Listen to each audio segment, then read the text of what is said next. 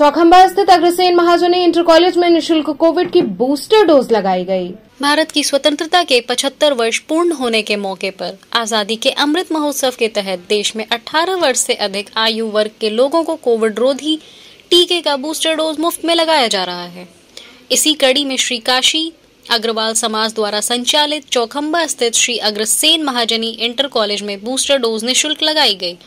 इस अवसर पर विद्यालय के अध्यक्ष बल्लभ दास अग्रवाल, प्रबंधक पंकज अग्रवाल, सहायक मंत्री दिनेश कुमार अग्रवाल तथा विद्यालय के प्रधानाचार्य डॉक्टर देवेंद्र प्रताप सिंह उपस्थित रहे। वहीं बड़ी संख्या में लोगों ने इस शिविर का लाभ उठाया।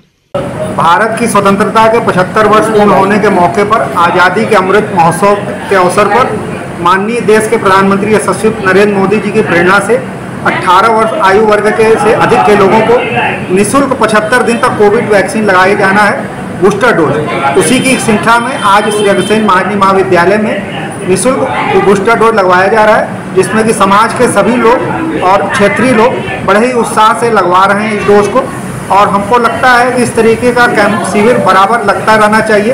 सरकारी कार्यक्रम तो हो ही रहे हैं, मगर इस तरीके से विद्यालयों में भी लगे तो क्षेत्रीय नागरिकों को बहुत सुविधा होगी।